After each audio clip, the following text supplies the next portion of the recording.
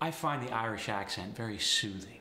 It's quite different from the standard American English accent, where the resonance is in the middle of the mouth. Right there. There's definitely different things about the Irish resonance. He's right. The Irish resonance is forward, and you don't want to keep your lips open too wide. No, keep them closed like a barrel of a gun. Although I don't condone violence. Now apply these resonance tips with vowel substitutions. Let's start with the standard American short A. It gives you a sound like man, trap, castle. With the Irish accent, it sounds much more soothing. Man, trap, castle.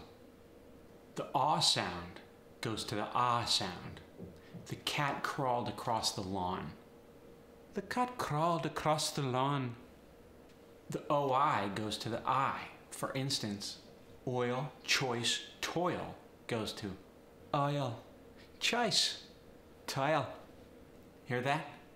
What's cool is the reverse is true as well. The I sound goes to the oi sound. It's subtle. Don't make it a clear and distinct oi, kind of somewhere in between the I and the oi. For instance, righteous becomes righteous. The righteous boy fights with tight muscles. The righteous boy fights with tight muscles. Try a couple different versions. See what works for you. Lean more towards the O sound sometimes, and then lean towards the air sound sometimes. For instance, I climbed the tower and gave her a flower. I climbed up the tower and gave her a flower. Remember, in standard American English, we have vowel diphthongs. There's two different versions the short version and the long version. For instance, A is the long version, A is the short version. When you do the long versions of the vowels, try altering the pitch. You start high and end low and draw it out a little bit with that melodic, soft tone that the Irish are wonderful at. For instance, let's do the O. Draw the O out longer. It gets an O sound. Older. Yeah, like oldest is going to become oldest. The oo sound is going to get a long drawn out O sound. Juicy and spoon become Josie spoon. The Josie spoon. Yeah, and then the E sound lilts downward to the A sound. Agree and lean become I agree to lean against the beam. Sometimes you could really lean into the downward lilt and make it into a full A sound, like gate. Try it with words like T, receive, beat. T, receive, beat. The Irish R's are fun. In standard American English, when we say our R's, it resonates in the back of the throat.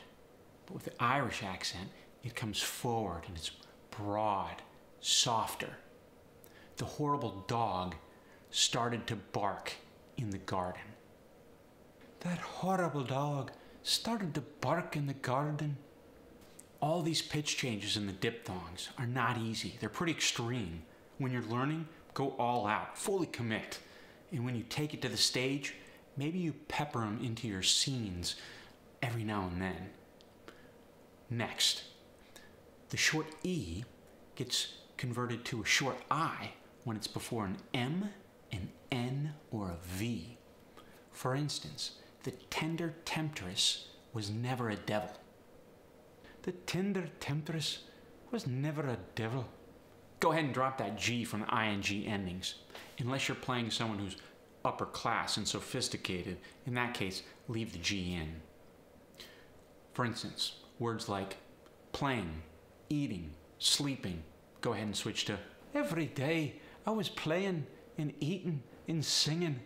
If you want to lay it on thick, this is not common. You can change the T sound and the D sound to the voiceless or the voiced TH sound.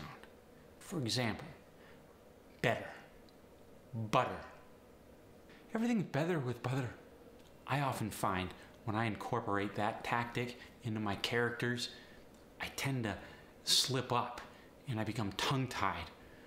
So don't let that happen to you, but definitely give it a whirl out there on stage. See what happens. It could be fun. Thanks for joining us. I hope you got some tips that'll move you in the right direction to learning the Irish accent. If you like what you're seeing, subscribe to the channel, like the video, make comments. See you next time. I love you.